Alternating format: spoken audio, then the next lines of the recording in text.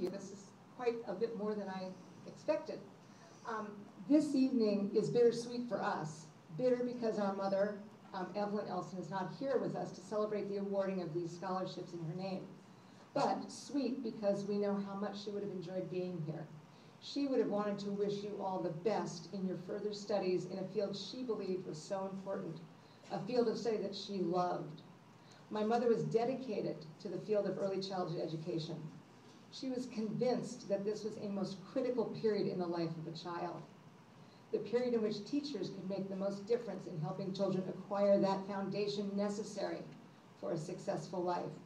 She worked at training teachers because she believed that excellent teachers were the most powerful way to help children have the best start possible.